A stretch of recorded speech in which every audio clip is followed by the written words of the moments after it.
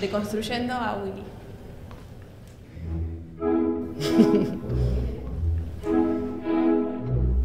Hola, ¿está bien así el nivel? Bueno, este es un video en homenaje a Willy, alias eh, Guillermo Méndez. Pero Willy no se escribía Willy, se escribía con IE, ¿no? Que creo que esto lo descubrí como cinco años después, la primera vez que Willy me mandó un mail, ¿no? Que era Willy. Méndez, en vez de Willy. No habrá discursos ni alocuciones. Por ahí alguna anécdota. O sea, contaba bastantes anécdotas en general. Podríamos decir que el 40%, no, el 60% de la clase eran anécdotas y el resto era teoría. Una hora 55 minutos de su viaje a Rusia, que un guardia le había no dejado entrar, no sé qué, que le hablaba en ruso y le decía y él no sabía si lo iban a matar o no. Y cinco minutos dijo, bueno, y Roland Barthes dice que la fotogenia no sé qué.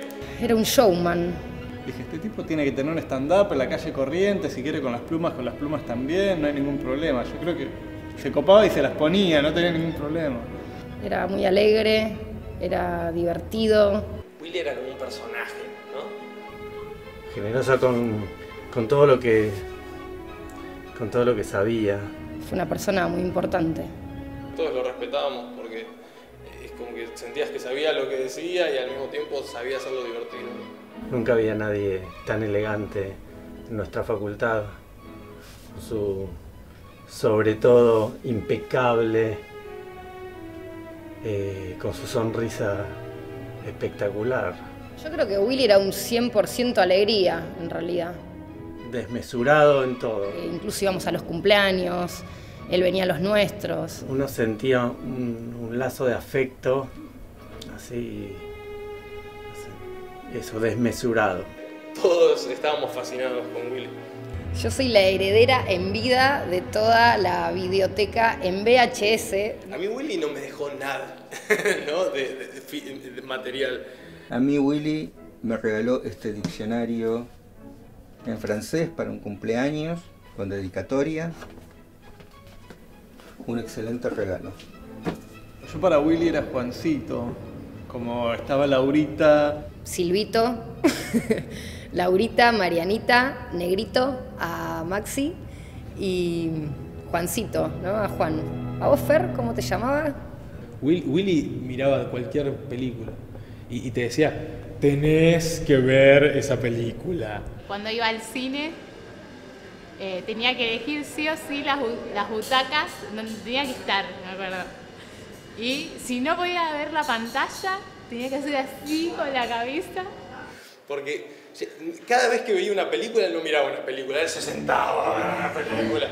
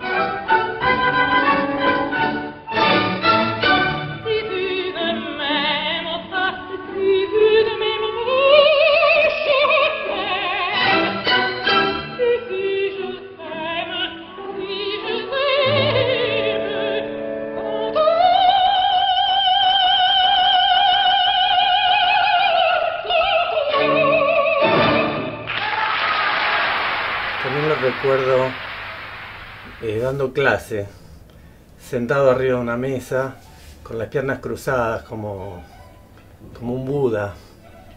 No, a mí lo que más me llamaba la atención es cómo llegaba a la clase. Eres como, siempre tenía algo abajo del brazo, no sé por qué. Nunca supe qué era lo que traía. Pues encima venía en taxi, ¿no? Y venía si, si- si no tenía el café que ya le había traído Mariana, Cada lunes y jueves que Willy Méndez vino, yo fui a comprarle su cafecito con leche. Entonces siempre venía como así, ¿no? Decía, A ver, baby, vos sentate allá, eh, a ver, apagame un segundito la luz, el micrófono, o sea, primero como que chequeaba que todo esté en donde tenía que estar. hola Marianita, ¿cómo estás? ¿No? El, el tono ese que era buenísimo. Una de las anécdotas que me acuerdo eh, fue cuando entró con un paquete de vigilantes así enorme. Y empezó a comer y dijo, ay chicos, me van a tener que disculpar, pero esto está tan rico que no voy a empezar la clase hasta que termine. Me siento muy lleno, dijo. Y, y bueno, dijo, ¿la quieren? Y nos dio las facturas. Los chicos no las quisieron, así que me las comí todas yo. Sí recuerdo que sus clases me dejaban pensando todo el día y que nunca me aburría. Siempre quería que llegue el momento del teórico de Willy. Me acuerdo que preguntábamos de quién era la teórica y si era de él nos faltábamos. o sea, era como que... obvio que ibas. Era obvio, o sea, es. La pasabas súper bien y no sé, era un tipo que a mí me dan ganas de llevármelo a mi casa y que me esté hablando todo el día porque, no sé, dos horas era poco. Una vez me acuerdo de la primera clase me senté adelante de todo y se me puso a, me tocó toda la clase, se me, agarró así y me empezó a parodiar a- y hablarme y a actuarme y fue una cosa que yo me quedé así. Agarraba, ubicaba un, un- un alumno, ya lo tenía incluso fichado de antes, porque no era pelotudo, y agarraba y hacía así con el dedo y por ahí de repente, vos. y se meaban encima, y después se quedaban todos de risa, estaba bien, pero Vos salías de ahí como, no sé, como si te hubieses subido a una montaña rusa, era como, wow, y querías más y más. Todos lo- lo- los ejemplos eran con Muerte en Venecia, con, con- con- con, no sé, la- las películas. de- Me acuerdo eh, una vez cuando dijo de la película de la película Tiburón, cuando dijo Darling, si la película es Tiburón, no te metas a las cuatro y media de la mañana al agua. o sea, Como curiosidades, cosas que nadie sabe, solo él. ¿entendés? Los recuerdo haciendo relaciones entre, entre Borges y Lars von Trier, por ejemplo. Cosa que yo no podría hacer nunca en mi vida. Y él hablaba, no sé, hablaba de todo, hablaba de él principalmente, porque era un egocéntrico terrible, sí. Me acuerdo una vez que estábamos en el aula 300, no sé, 17, 18, y decía, no, este aula a mí no me gusta porque para que vean el proyector hay que apagar la luz y si apagamos la luz a mí no me ven y no, no puede ser. ahí como que uno venía acá, se sentaba, lo escuchaba y no se preguntaba si lo que estaba diciendo era verdad. A ver, nadie se lo puede tomar en serio. Pero uno es como que entraba como en código, era más como venir una obra de teatro más que venir a una, una clase teórica. Y Willy era una especie de, de- de- de conjunto de frases. El diccionario Willy Méndez sería baby, eh, inenarrable. No, eh, creo que la frase que más decía era mega mambo. Mambo era la palabra Willy Méndez, creo que la que más lo define. Cara 1, cara 2 lo decía cuando hablaba de John Connery cuando actuaba en James Bond. Eh, siempre lo cargaba porque decía que el tipo ponía absolutamente siempre la misma cara para cualquier tipo de situación. Después había una cuestión con el baigón, ¿no? que, que, que las cosas que no le gustaban les tiraba baigón, digamos. Y había distintos tipos de baigón, porque de acuerdo a lo malo que había sido la experiencia o, o- o- el mal que se merecía esa persona, eh, él aplicaba el baigón para los mosquitos, que es el verde, el baigón para las cucarachas, que es el negro. Implotar, decía mucho. Para el todo era mega. Mega y hiper, pero mega sobre todo. Eh, el enemigo de la luz, Pinocho. Como que Tom Cruise era como el rey de los Pinochos, era el, el mega Pinocho. Pinocho para cuando el actor era muy malo o para cuando a veces veíamos cortos de los estudiantes, que él se despachaba con, con- con sus opiniones sin ningún tipo de filtro. Recuerdo una frase de él que dijo, no hay nada más femenino que un aro de perla.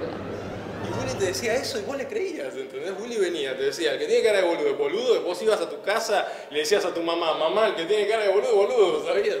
La que no me, no me olvido nunca es cuando dice que fue, creo que fue al Malva o al... ¿Será que en el Louvre o alguna cuestión por el estilo? De una muestra de arte abstracto y había dos señoras a las cuales ya había apodado él en su mente. Chichi Chachi y él se puso atrás y era como una especie de fantasmita que iba atrás de Chichi Chachi escuchando todo lo que decían. Entonces se paraban en un lado y decían, no, porque esto. Ay, qué bonito, sí, no imagínate. Y, y batían cualquiera. Entonces Willy me acuerdo que la siguió, la siguió, hasta que en un momento la, la, la, las señoras se pusieron a ver como una instalación que había como una escalera Toda intervenida con manchas de pintura y qué sé yo. en el medio de una, de, de un hall blanco. Por primera vez las señoras no dicen nada, absolutamente nada, se quedan mirándola. Entonces él como que queda un poco atrapado también y se queda mirando a ver qué es lo que estas mujeres están viendo. Y de repente es como que dice que pasó un tiempo, un ratito, y estaba lleno de gente viendo la escalera. Hasta que de repente vino un conserje, la cerró y se la llevó. Willy feliz de la vida pues ya tenía una anécdota más que contar a sus alumnos y el resto un poco no sé, colorados pero felices también. E- Eso creo que fue una de las mejores anécdotas que contó Willy. Eh, pero finalmente lo que quiero decir es que es que lo recuerdo a Willy con alegría. Jamás ibas a, a notar que tenía un problema. Era como que siempre estaba feliz. Todo el tiempo al 100%. Creo que no tengo ninguna, ningún recuerdo de Willy de mal humor. O, de, o por ahí a veces llegaba medio de mal humor porque s- se despertaba sobresaltado, estaba llegando tarde y se tenía que tomar un taxi. eh, pero pasaban 10 minutos, empezaba a dar clases y automáticamente ya le cambiaba de vuelta, o sea, el ánimo.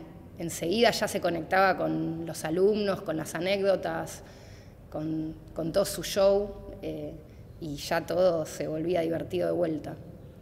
Y así, y así es como lo quiero recordar, con mucha alegría. Pero en realidad este es un video para invitarlos a todos ustedes que están acá y a todos los que están ahí en el Rojas. El último champancito.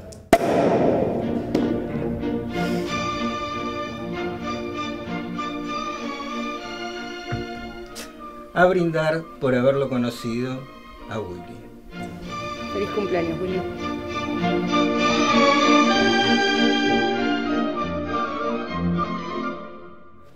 Happy birthday to you, happy birthday to you, happy birthday, Mr. President.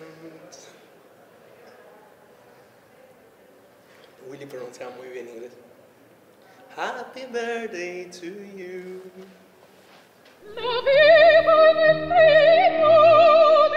Quando non sa mi ancora